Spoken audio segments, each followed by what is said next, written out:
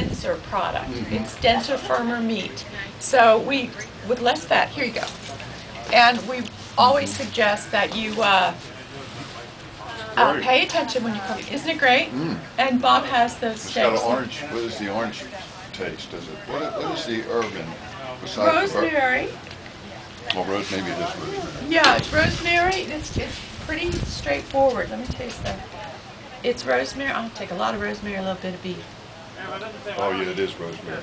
Yeah, Yeah. yeah, rosemary from our gardens, from my garden.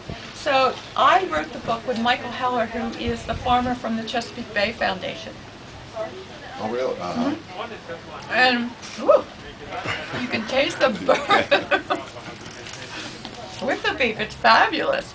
Um, so Michael Heller um, has run Clagett Farm for 27 years, and I have to show you him. He plays his bagpipe. Oh, he does? Yes. Uh-huh.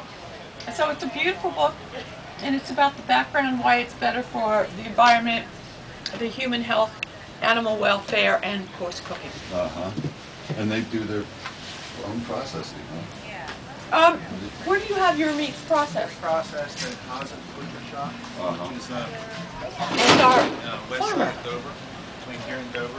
Uh-huh. It's a, it's a family butcher shop. Uh, And we're off to sell steaks.